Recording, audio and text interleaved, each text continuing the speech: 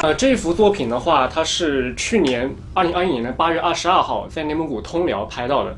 那么它是被气象业内誉为我们国家中尺度气象学目前最完整、最典型的一张超级单体雷暴的这个影像。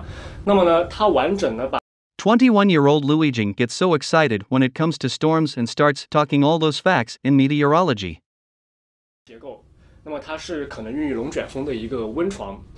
Interested in meteorology since he was a child, Liu Yijing became a professional storm photographer in 2020. Every spring, he starts to follow weather changes nationwide. When it's summer, he would start chasing storms. Every time before leaving for somewhere, Liu Yijing would study data from weather forecast carefully and draw an area with a radius of hundreds of kilometers where storms might be generated.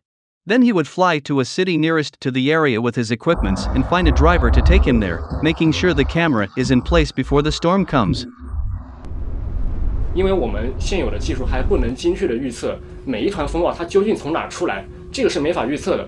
所以呢，就根据这个气象雷达图或者是卫星云图，然后呢去寻找一些风暴可能出来的具体的位置，然后呢不断的乘车去调整距离，不断的去靠近。我们的最好的一个状态就是能够完整的记录下一个风暴从刚刚出来到它的鼎盛期，再到它减弱的时候的一个全过程。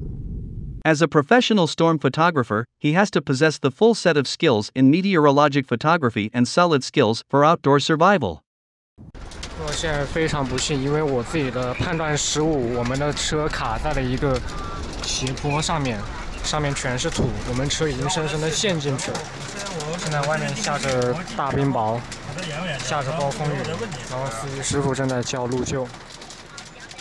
Being up close to the beauty of thunderstorm also means being exposed to risks.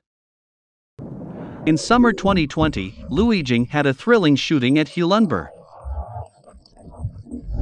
当时呢，我是为了拍下这个前面的糊状积雨云向我冲过来的这个画面，所以呢，我就必须在草原上坚守，坚守到这个风暴向我冲来的最后一刻。但是最后一瞬间，草原上扬起了一道沙墙，风非常大，看到的时候已经来不及撤了。当时我就在大风中，那个风至少有十级以上，以我这个体重是完全站不稳的，我就只能紧紧抓住那个越野车顶的行李架，整个人吹到已经是脚几乎要离地了。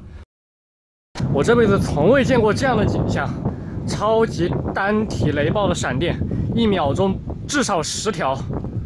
我的天呐！我的天呐！我的天呐！太震撼了！太震撼了！In the past two years since he started chasing storms, Liu Yijing has traveled to 11 provinces, his journey covering over 27,000 kilometers, his photos of storms amounting to tens of thousands. His meteorologic photo was on the front cover of an SCI journal Advances in Atmospheric Sciences. He was also invited to give an academic lecture at Peking University.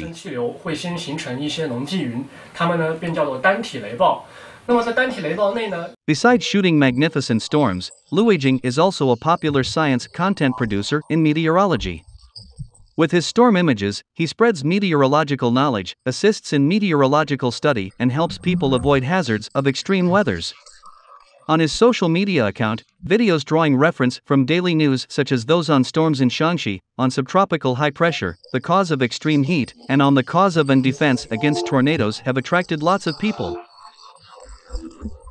昨天夜里一个史无前例的强烈龙卷风，我能通过这些震撼的画面，还有我的故事，能够去吸引到观众。在这中间，我把科普知识植入进去，那么大家就不会觉得那么违和。